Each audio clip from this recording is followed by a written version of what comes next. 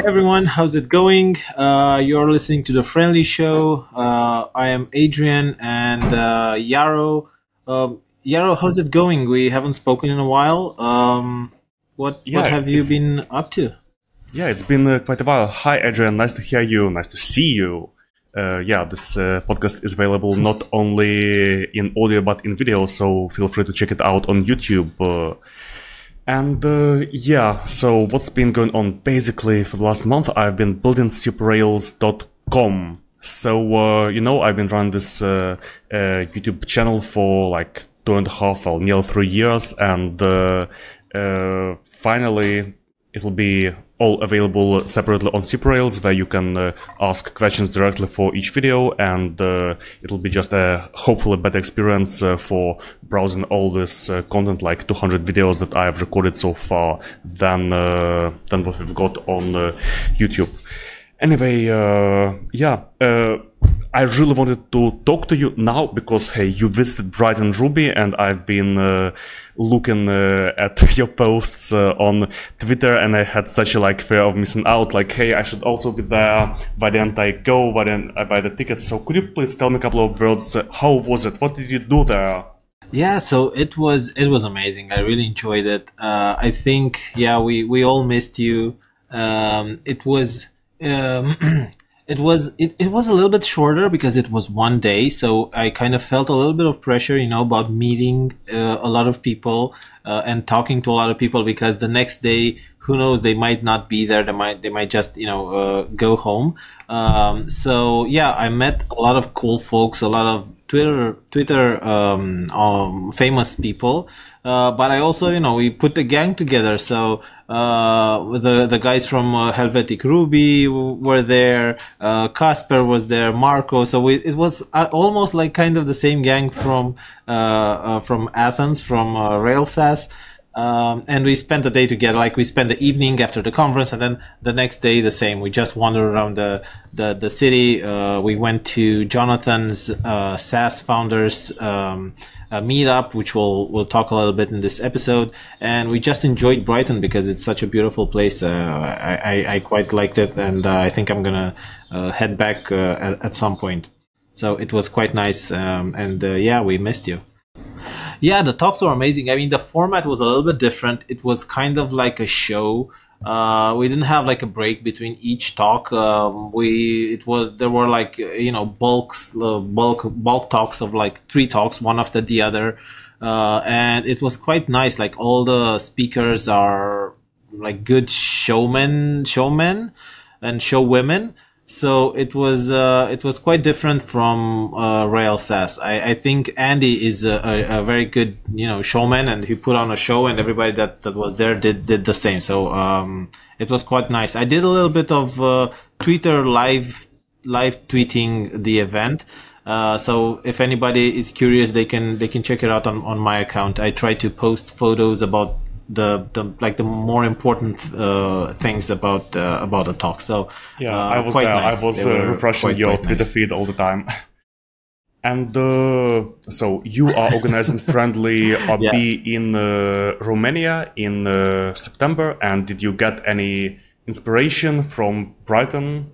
Uh, things that you would like to reuse? Uh, Oh, definitely, definitely. So yeah, it was a little bit of a research trip as well. So um, you know, when you're doing this thing, you haven't planned events before. There are a lot of you know unknowns, and going to other events, you can kind of see some of the some of those unknowns and, and try to plan for them. So um, yeah, definitely, it was a good good inspiration and good good research.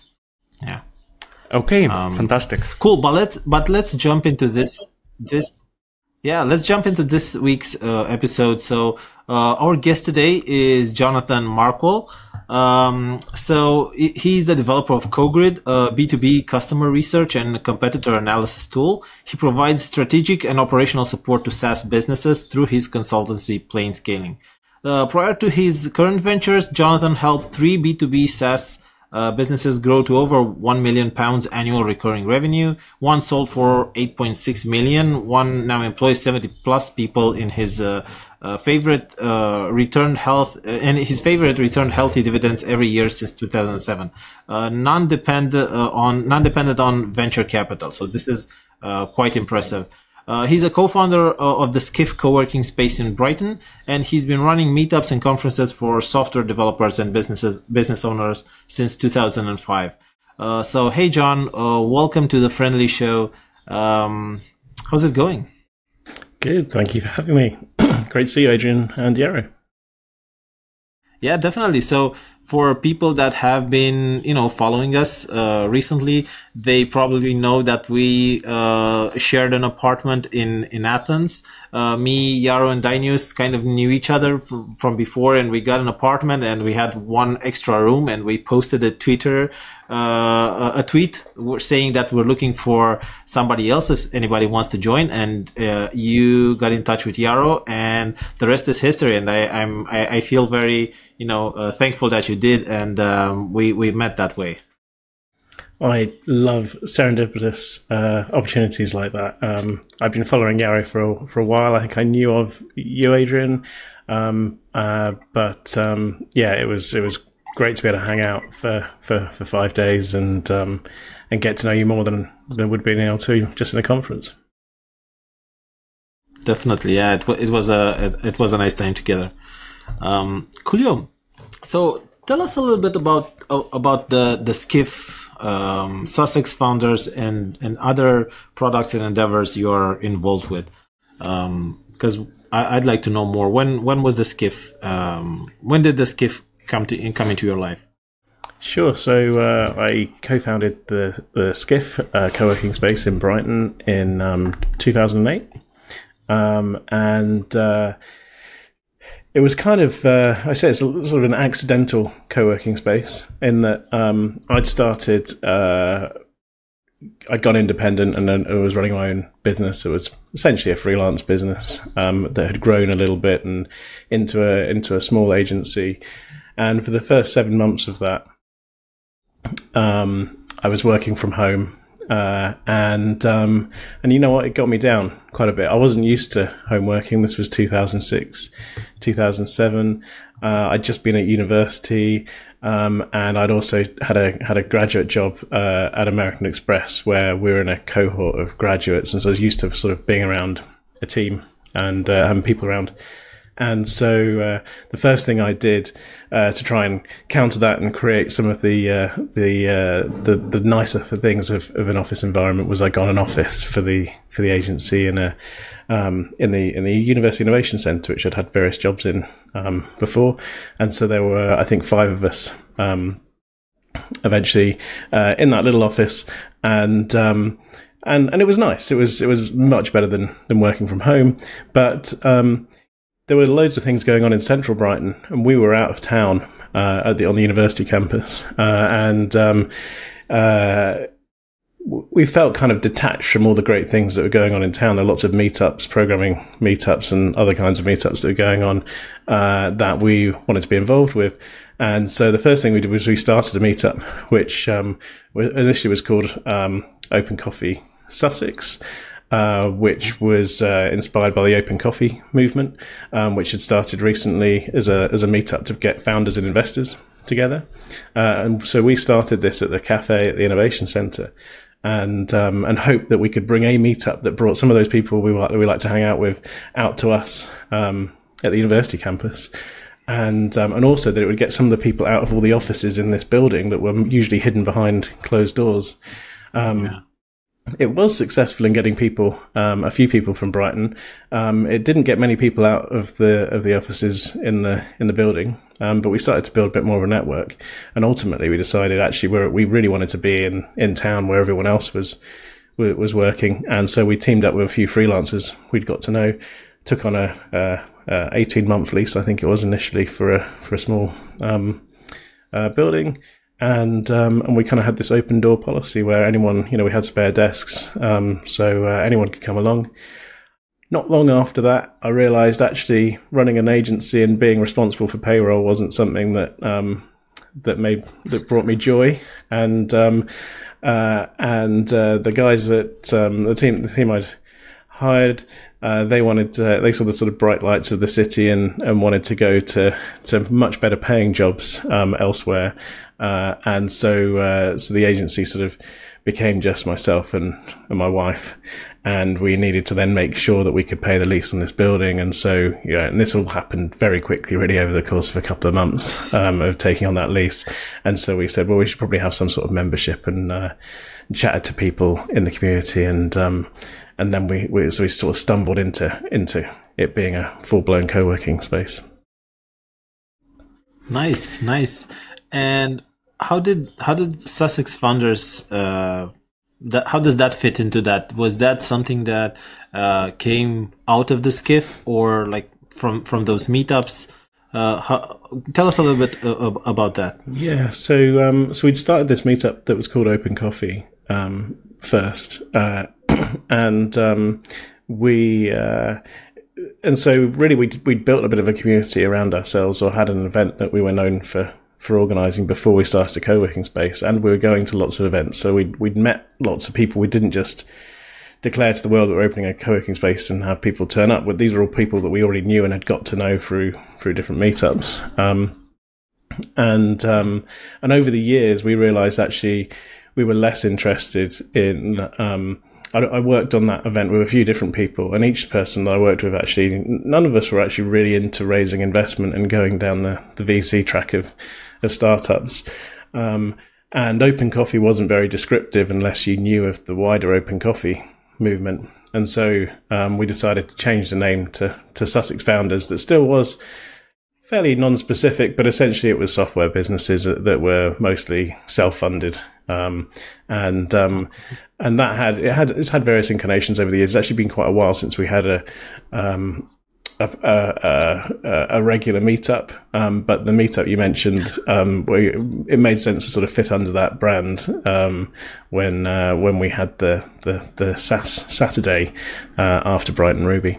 After Brighton, yeah, definitely, yeah. So this is this is so right now in in these times like everybody's talking about SaaS about you know indie and bootstrapping and how like I'm gonna air quote this like how easy it is to you know start at least try to have like a SaaS business within you know with a tech product. When when did you think when do you think this um so this is like in modern times when do you think like you started noticing this trend, this uh, you know type of like SaaS business and entrepreneurial you know movement uh, in in in Brighton and in the UK? Uh, I mean, I feel it's pretty early. I mean, around the same time I started my business. I mean, I, I was in you know part of the inspiration was actually discovering um, Rails and the things that I could do, and then seeing what Basecamp was doing, and this was sort of back in um, early 2006, um, maybe even earlier, um, that kind of business was one that I would like to make. Uh, but I realized uh, then I, I, still didn't feel like I had the resources to to do it to go all in. So I'd, I'd created a consulting business stroke agency, um, and um, and there are a few others that I would meet around this crowd of software developers that were taking different um, different paths. Uh, and I guess, you know, it was more obvious that there was uh, more people directly in that, you know, within uh, sort of having awareness of all, all, this going on as I discovered other conferences that were being organized, like um, MicroConf, um, that were bringing people together that had similar kinds of value sets and wanted to create similar kinds of um, businesses. Yeah. Cool. Yeah, that that makes sense. Um, cool. Tell us a little bit about like CoGrid and and what you're what you're trying to build. Is that is that ready to to talk about, or do you want to still keep it uh, in the dark a little bit? Yeah, if you're not embarrassed by it when you launch, you've launched too early, right, or too too late. Definitely. um, uh, so Definitely. Uh, Definitely. it's uh, it, it's it's really it's a it's a side project for me. Um, uh, that you know I've been noodling on various different ideas um, around it for for years. Um, it has lots in parallel with other businesses that I've that I've worked on. Um, the idea being that you can um, get a, do a lot of re- find out a lot of things about companies just by having the starting point of their domain. And we all know this that we can go and just look at the website with a domain, and we can do various Google searches and find them elsewhere. Um, and so it's sort of building on that to see what you can do with a group of domains and what you can find out. So it might be a list of competitors or it might be a list of uh, of customers. Um, and so the uh, the version that is just about uh, working, uh, which you can find at cogrid.com, you can throw in a bunch of uh, domain names um, of companies that you're interested in, and it will give you some things back um, to sort of start a, a, a, journey of researching them. And it starts off by sort of prioritizing them by what we think is uh, the more significant of those businesses that you've put into the into the box. Um, it actually has and, a similar. Uh, I wonder. Yep. Yeah, I was wondering how does it uh, find the similarities? Do you use AI? the main question. um, I've avoided using that, that buzzword with this uh, recently, knowing how cynical people can be uh, around it. Although less so now than, than they were. But yeah, it does have a few uh, some AI elements in the more advanced versions that I'm bringing into that that free version. Um, at the moment, it's working on uh, various different data sets that I've found that are freely um, and openly available. Um, uh, and focus purely on, um, on, on information about the companies, um, and so it's it's finding categories that those um, those businesses maybe have self-identified into on on LinkedIn. Um, uh, but uh, there are yeah, there's loads more that I've I've got under the hood that will be will be helped out by by some AI. Yeah, mm, I like the way you said like the way businesses self-identified, like. Yeah. Uh, I know you can uh, self-identify as if you're like I know doing something, but in real in, in real life you're I know building something quite different. Yeah, like, I, mean, know, some kind of cigarettes. We, we, we, cigarettes self-identify as we bring the stress relief, but uh... yeah, absolutely. Yeah. I mean, the a, a, frustration I've had with other tools that do this same kind of job that that CoGrid um, is is currently doing. Um, the the challenges as they use it. You, you, categorizing a business, for example, it's usually quite a small list of categories, and so when you look at if you've got a lot of um, customers that are SaaS companies, uh, all of them end up as software businesses, and that's the only categorization you really get, or internet business, and then a few variations on that, yeah. just depending on whoever set the LinkedIn profile up, which one of the two categories they felt they most uh, fit into, and so. Uh, it's much more useful if you've uh, if you've maybe got you can categorize a company into one of the categories that you've defined for your customers um, or, or, or your competitors, and so it can get them on quite a granular level. And so obviously, you know that's where some of the AI stuff comes in, looking at content on um, the websites of those companies to to uh, to figure out the right category based on the list of categories you want to use, for example. Mm. And uh, what is the value that uh, CoGrid is supposed to provide? Is like uh, find uh, similar alternative solutions uh, or uh, like find whether a company is legit? Um, ultimately, the um, the the the free version um, sort of satisfies some curiosity, um, just to see who is if the if if what CoGrid thinks your customers are matches what, what you think your customers are. Obviously, there's lots of different ways you can do research and um, that are like um, customer interviews, uh, finding people talking about their businesses on on the internet, um, uh, and um, and doing surveys and getting information directly from them. Um, but uh, I think there's a lot that's missing if you don't know other places to look and find out things. Um, uh, about about companies, and so um, yeah. Sorry, I've lost my train of thought. Your question there. Okay, Jonathan, I, I think I just understood. Basically, imagine yeah. I've got like uh, some kind of app and I have uh, a list of uh, emails of my uh, uh, customers. And uh, I know most of them will be maybe not like at google.com, but at thebusinessdomain.com. And basically, I would just paste in a list of uh, the emails and it would find uh, uh, information about the companies that the emails belong to. So I get like some aggregate information about the companies that uh, I work with. Yeah, and so the and, and so you get that curiosity curiosity satisfied as a value return from the from initial free use, but where it becomes, I think, more valuable is uh, we can then monitor those companies for you. So if you have um, uh, uh, that list of customers or that list of um, suppliers, you don't want to be googling them and, and doing research uh, manually every week to keep up with what they're up to. Uh, you want to go and find out. Um, uh, you want you want to be told when something happens. You want to be the first to know if something significant changes that might impact your your business. And so, some of the sorts of things that we might be able to detect that you might miss, and I've missed uh, with um, my clients in the past, have been uh, one of your uh, customers being acquired.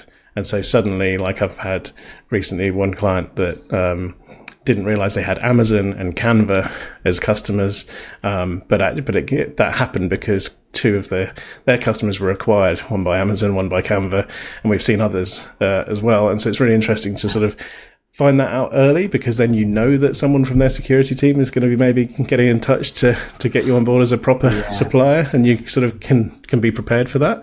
Um, and um, and then and there's various other uh, things that can that can happen. So like we don't always know where our customers are finding out about. It's very difficult to find out how how customers have um, found out about you especially if they don't answer to surveys um, explaining. And so one of the things that I can do with CoGrid is I have um, I, am sort of building a database of, of companies that are members of different chambers of commerce, and it could be other groups, it could be Sussex founders, it could be participants in different conferences, and so you then get to see um, where there have maybe been some crossover, and so you might see that there's a cluster of companies that are all members of Sussex Chamber of Commerce. Um, and it's like, oh, maybe they've been talking to each other, and that's how they found out about the business yeah. and therefore you know maybe we can we can help accelerate that either within that chamber of commerce or maybe there's an opportunity in other ones and so over time i want to build mm-hmm. you know more and more um, connections like that which aren't immediately obvious about the companies that you're that you're working with so you can find growth opportunities i mean i can imagine that uh, for example somebody owns a newsletter and uh, they want to like know their readers and they just like up um, i know uh, in the newsletter app they have uh, the cogrid uh, uh, plugin and they kind of uh, link the customers and uh, cogrid does the analysis of the like emails and gives some insight like about your newsletter what companies that use your that, that read your newsletter some kind of like aggregate some kind of yeah that's that's really cool absolutely it, it feels um, like this is a this is a tool where people are going to use it in so many different ways that you imagined it. So uh, it's really cool. Maybe I mean that could be uh, you know a, a, a, challenge for me in, uh, in in selling it. Like the the business I've worked in, in, with before uh, that have been most successful and easiest to grow have been in a very narrow niche, solving a very specific problem for a very yeah. specific group of people. And so I'm uh, acutely aware that um, I haven't yet focused on a particular niche with this, and it's more of uh, you know it's in danger of being a solution in search of a of a, of a problem. Um, uh, but you know it's it's a tool that I've used, um, so I'm kind of scratching my own itch. Uh, yeah. It's uh, it's it's something I can I can have on the side of my of my consulting work for the moment, and we'll see we'll see where it goes and see if I get pulled into one specific niche or or, or which way it goes. Yeah, definitely. So this is the cool thing that I would look at it at, as a, a, a, blank canvas where you can try and validate multiple, you know, niches, right? Because you can use this tool in multiple ways. So you can, you know, try the first niche for you know a month, then try to market it for a different one, and, and so on. So definitely, yeah, this this is the. But you know, scratching your own itch, it's definitely the best the best way to go. I mean, I yeah. really like well, the idea of. Uh, yeah, I like the idea of uh, let's say like having ten different uh, landing pages uh, based on the different applications of the same solution. So uh, I know, imagine you sell an app for like uh, making appointments, and like uh, the dentists visit the landing page where like it's the CRM for dentists masseurs visit and see like CRM for masseurs. so uh, kind of personalized uh, messaging uh, to different niches, but same Yeah. solution. We- Maybe you maybe you can do like you know every time the page reloads, you have a different web, pa- a different homepage to- targeted Yeah. towards a different niche. I think I'm going to have to get to decisive it at some like point, but um, there's certainly some some things some things around there that I, I think I can do. I've got a few, uh, you know, uh, I think useful um, pieces of information that I can put out there for different groups and see if any of those get get traction, building on the data that that I have. Um, I'm trying, you know, I'm not I'm not doing a particularly good job of it, but I'm applying a. Uh, um, a few different processes that I've learned um, o- over the years to, uh, to to to sort of find where who this might be most valuable with, and um, and one person, uh, you know, two people I've followed for a long time, Amy Hoy and Alex Hillman, um, have a program uh, called uh, Thirty by Five Hundred, um, which teaches a lot of you know a, particular approach to um, to researching products. Um, and it's it was super helpful for me in a lot of the other businesses that I've that I've worked on, um, and it was really helpful to help you know get you know be very clear that this is a problem that people are actually searching for and and are, and are, and are trying to solve, and um, and so I'm uh, I'm currently uh, in the process of um, a uh, a free course that they have called Launch dot. Uh, uh, FTW launch for the win, um, which encourages, uh, which takes you through the process of creating some very useful pieces of, of content for a specific audience. I'm trying to be as specific as possible with that, but sort of using what I have um, from from CoGrid uh, as um, uh, as as part of the value that I'm able to provide doing that. Yeah, definitely. Um, yeah, that, that definitely resonates with you know what what happens in in like I see how people try to streamline you know and and find their niche with the current like SaaS indie bootstrap SaaS businesses. It's like that. You know, you have to take a laser pointer and trying to find your niche as um, as quickly as possible and you know the smallest niche as possible so you can service it very very well. Yeah, definitely. Yeah, and I've got a few. I've got a list of a few things I'm going to sort of just to be able to email people and say, "Here's a cool tool you might be able to use in the specific niche that you're in. Let, tell me how you get on, and um, we'll we'll go from there." But yeah, Nice. it's very very early days. Yeah, of course. How how uh, is this a full time thing, part time thing? It's just just on a weekend part thing for you. How do you see it? Uh, how do you Yeah. do it right now? Part time at the moment. I mean, uh, SaaS, SaaS Saturday kind of fits quite nicely with it sort of being my a a Saturday project. I tend to take a day off during the week, and and so uh, and and then isolate maybe doing that on a Saturday because I, I home educate my kids, so it's not so disruptive for me to work at the weekend, and I can spend a day with them uh, during the during the Yeah. week. Nice. Yeah, that's cool. Cool. Let's uh, tell us a little bit about how how do you know Andy? Uh, I I know uh, so I know behind the scenes that you told me that you two started a, a different conference back in the day. Uh, what's what's the deal there? How how did you get to meet Andy and you know become friends? So and Andy Croll, um, uh, the uh, the showman Yeah. of, uh, of of Brighton Ruby.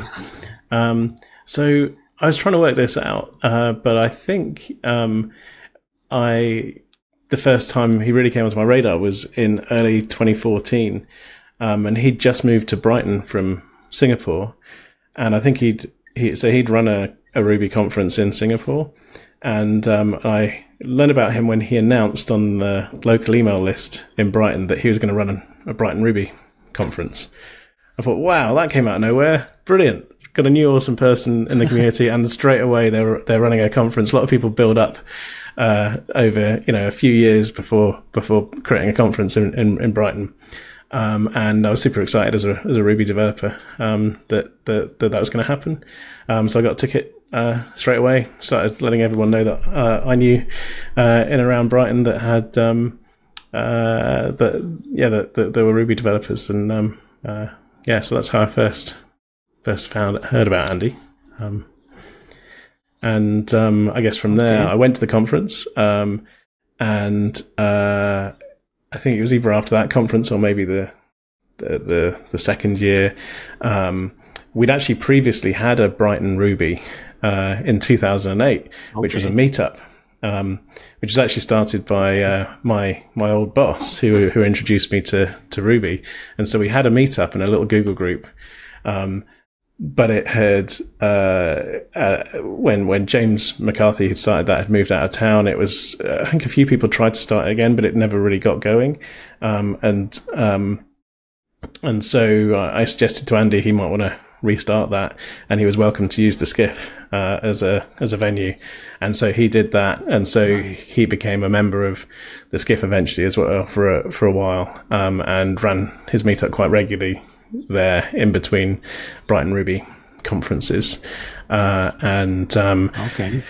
I think over, you know, then getting to know him more through those, those meetups, I, um, you know, it's pretty clear he really knew what he was he was doing um, with with Ruby and was a far better Ruby developer than I, and so there were a few projects I was working on that I that I'd started, and I asked um, uh, Andy to to come in and help with with a couple of those.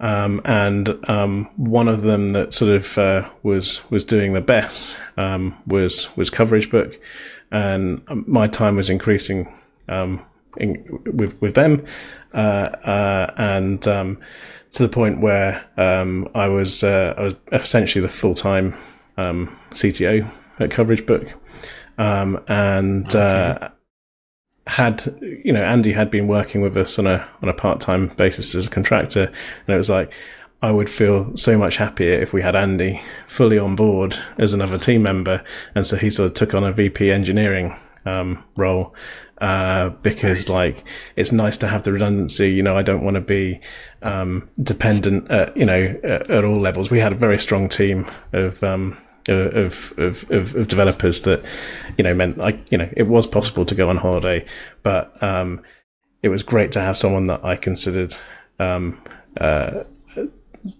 completely a peer, but also, you know, a, a way ahead of me on, on a lot of things, especially on, um, uh, on, on the tech side. Nice.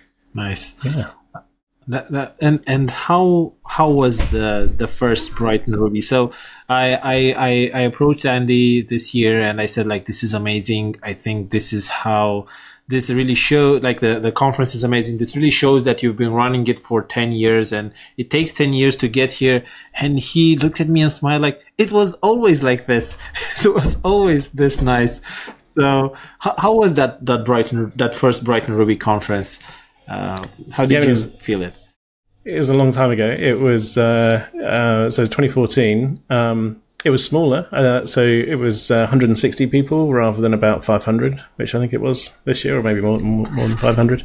Um, and uh, yeah, it felt it felt like a good Brighton conference. I mean, we're very spoiled in Brighton. We have a few really good software um, related conferences. But, you know, we'd had one created by um, Clearleft called dConstruct that had been running for a few years, um, and um, and it was in the same venue uh, as um, as Brighton Ruby, and so we were sort of used to this annual gathering. A lot of us that were in the Ruby community in Brighton, uh, of a broad um, uh, section of the tech community around the UK and Europe coming to Brighton for that.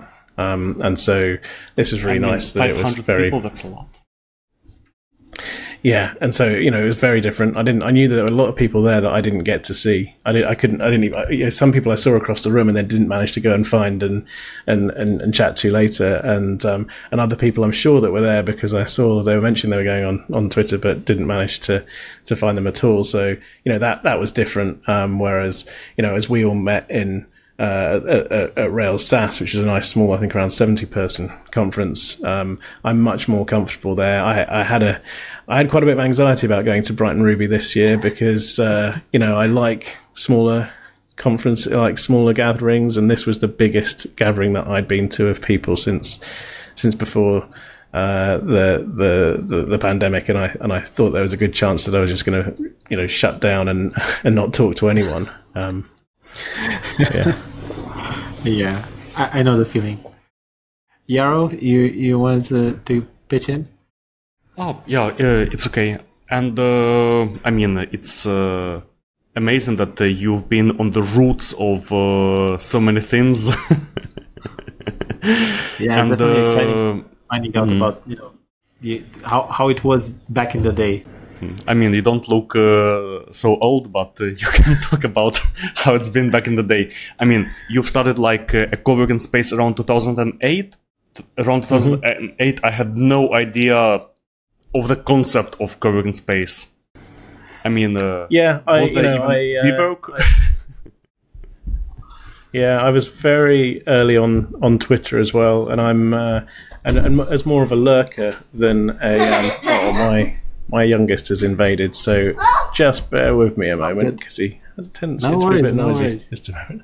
Um, where were we? Uh, yeah, so being uh, around early on, yeah, I, I, I've been sort of lurking on Twitter since since very early. I I think I, uh, I I got my account pretty much the day that accounts were more openly available on in 2007 and and that sort of plugged me into lots of people that were thinking about very progressive ideas so hearing it you know being aware of the co-working movement and some of the things that were happening in, in the US and a lot of the startup movement um, following you know the early days of of Y Combinator and and all sorts of things around that.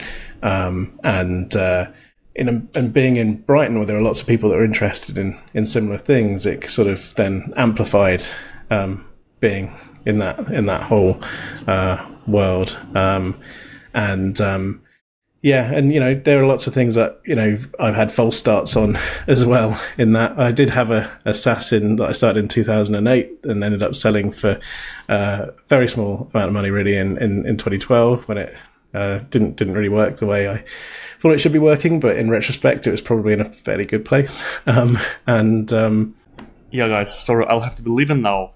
But uh, I, I mean, everything's been recorded, so I will uh, uh, happily listen or watch uh, whatever you speak about uh, after we're done. So uh, it was great speaking to you, and talk to you later. Definitely. no worries, good to see you. Thank you. Cool.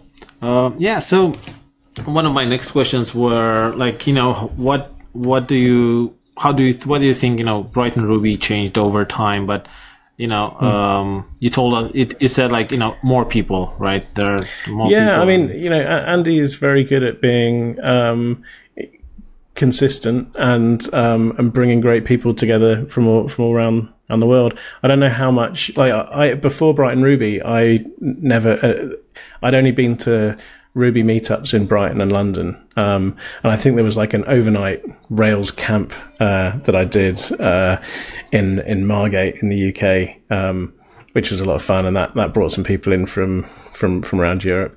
Uh, but I hadn't sort of gone to to any of the main conferences that were that were Ruby focused, and so it was really you know great to have someone that was plugged into that world, bringing bringing people to into Brighton that I'd seen. Um, you know, I'd known from Twitter and known from seeing their commits on on Rails and uh, and and things like that. And it and I think you know and Andy's just kept that going. You know, he does the work to go and find and and and get to know people around the world that uh, that make Ruby special, uh, and um, uh, and and and brings them to town.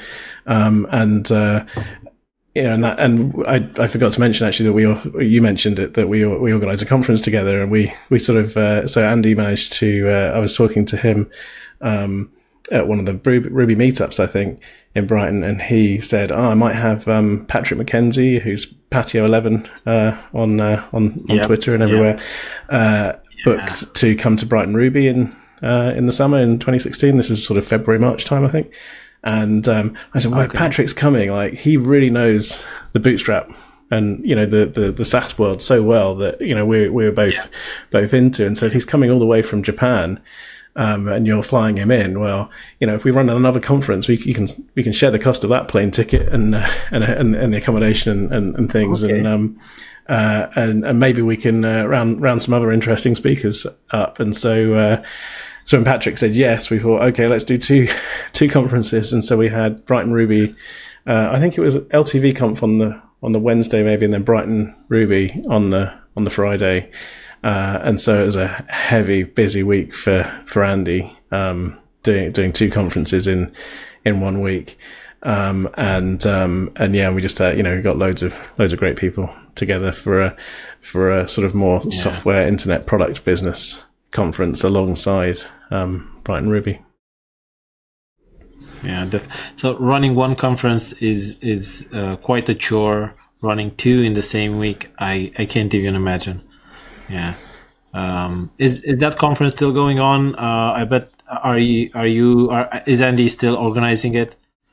No, we we we ran it um, for a for a second year, and and we did decide that okay uh, for Andy, two conferences in, in one year, and um, for me, running a co-working space and a conference when both of us had full-time jobs, really as well, was uh, and two young children yeah. was was too much, and so yeah. um, we we ended up actually uh, selling the conference to FE International, um, who uh, who had spoken at the second conference and attended the first one, and it really was a good fit for them to. Okay to take it on, and they ran a, a few more until um, until COVID, and they they had, they had to cancel the last one that they had that was going to be in San Francisco in uh, in 2020, and unfortunately, it hasn't hasn't restarted okay. again yet. Gotcha, gotcha. Yeah, that, that's cool. So, what? Okay, getting back to Brighton Ruby, what did you like? Did you what did you enjoy the most this year? Uh, I just love love being. Uh, informed and entertained at the same way. It just it was it's just like it's so fun. You know, like the whole experience uh, of learning new things. Yeah. Like every talk, I think I learned completely new new things. Uh, I think with with Andy, like from Eileen's talk at the very beginning, um, it's a small takeaway, but uh, Andy mentioned it as well. I always thought that. Um, uh, that rail uh, rails tie, rail ties were called railties, uh, because when you just read this thing over and over again, and then you find out, oh no, it's rail ties, which makes so much more sense because it's tying these different parts of rails together. Uh, and it's like little things like that. Um, and there's, you know, loads of other things that either consciously or subconsciously, you're having a whole day of, um, of of of hearing from the from from a, um, incredible people that are contributing to the community in lots of different ways, um, and um, you know, and have much deeper knowledge uh, than I do on a whole, a whole, range of topics. I just you know feel yeah. you know enriched from it, and and the fact that you know Andy gets people together that can y- y- entertain you at the same time as telling you things that could otherwise be pretty dry is is just a wonderful yeah. wonderful thing. No, definitely, definitely. Yeah, I enjoyed it as well. Like all the talks were very not only like you know showmanship, but definitely learn new things. I, I think I enjoyed. I seen a, a cool thing like Tim Tim Riley uh, spoke about Hanami and you know how it's a good alternative, and you know I think it was a little bit of a theme this year. Noah Gibbs spoke about this, like you know maybe Rails is not the perfect project for for like the perfect framework or tool for any project. You might have different projects that other tools might might go with them. But after like Tim Riley's uh, intro to Hanami, I've been speaking with people uh, in in the lounge, and everybody was like, "Hey, I just want to go back to my hotel room and do Hanami for an hour or two. Like, uh, it sparked my curiosity. So I think people were very, you know, entertained and into all of, all of the all of the talks. Yeah, so definitely, yeah. Great. Yeah, it was my my first time hearing about it. Hanami, um, and um, yeah, I got too many too many different things on. I wasn't quite you know pulled into uh, in, into into going and trying it out, but it's definitely on my radar now. And you know, there are other things around you know having fun and uh, you know having always making a bit of a game. You know, trying making something that's not for the purposes of making money was another uh, takeaway I had. And you know, maybe you know there are things that I could just do for fun in CoGrid that sort of get me, you know, allow me to just uh, uh, have some programming fun Unwind. and um, and yeah. and do do some interesting stuff without a, you know a, a, a financial goal in mind. I I really like that. Um, and Noah's talk actually you know, that really resonated there with me is I, I, work with teams that aren't just working with Rails and, um, uh, you know, and it's so important to, you know, I think one of his first commandments was, you know, don't use Rails. The team doesn't want to use Rails. And, um, you know, and I see, you know, some teams being pulled in directions that, uh, uh, that they just don't want to go in. And, you know, that's got to be the first thing that you, uh, that, that helps you make any decision like that is what, what the team wants to do. Yeah, definitely. So yeah, just for the record, Noah Noah's talk. So it's Noah Gibbs. Uh, he his talk was titled "When Should You Not Use Rails," and it was a very very good and informative talk. Like a lot of good points there. Um, So, Jonathan, I have this question. Like, I, I've been asking people at the conference as well. Like, what do you think people gain? What do you gain by going to conferences? Uh, it's a little bit of a question of a research question for myself. Like, people have met, have been asking me about Friendly Ruby. What is that about? But I'm curious. What do you think you gain by going going to conferences or other people? Yeah, I mean, it's something it's it's a feeling that is very difficult to put into into words and because I've you know been around you know in the business of creating communities and of different kinds be they meetups or co-working spaces you know I, I feel like I maybe have more of the vocabulary than than other people would immediately jump to for this. But for me you know, a, a good conference I feel a sense of belonging like I'm not alone. I'm, you know, there are lots of people that have very similar ways of of uh, of thinking about the world, and um, and I find it, you know, great learning from people that have, you know, some parallels to my own, uh, but where they've gone deeper into that to- topic in some other way, and so just you know, getting this feel feeling that I'm in a crowd of very smart people where we've got a few things in common, and then loads more that we can learn from each other from that starting point of what we what we have in common. Um, yeah. And we, you know, I felt this from uh, you know, Rails SaaS was interesting because it was, you know, such a super niche. You know, some, you know, I, I think when actually Andy and I started Rails, uh, started LTV Conf, we we thought about whether or not it should be a Rails SaaS Conf. You know, but it, we just felt that would be too niche. Even though we were bringing loads of people to the city for a Ruby conference, we wouldn't get enough people to, to, to turn up to be able to cover the tickets for the, you know, the, and, the, and the amount that we were paying the speakers um, for for something so small and so um, yeah. uh, you know we had to go we had to go broader and maybe we weren't too broad i'm um, not sure but um, uh, you know having that base you know having that one interesting thing that brings a whole bunch of people together from all over the country all over the Europe all over Europe and maybe all over the world um, I think it just creates this yeah. very special um, environment uh, yeah. where yeah you learn you learn lots and meet people and make good friends um, yeah yeah, and and you you you find out that you're not alone because you know building SaaS and indie like this uh, as a developer, it can be a little bit lonely. Right? Yeah, and you know I use uh, I've used Twitter a lot over the years, and you know some years less than others, but um, and and hung out in other places on on the internet. And for me, I really struggle, and I know some people are you know completely fine with this. I really struggle to make conversation or um, with with complete with people I've never met in person.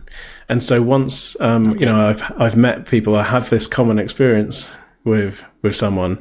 It's so much easier to um, to sort of maintain that relationship and get to know them better. Maybe do some work together, um, uh, and uh, you know, and, and have.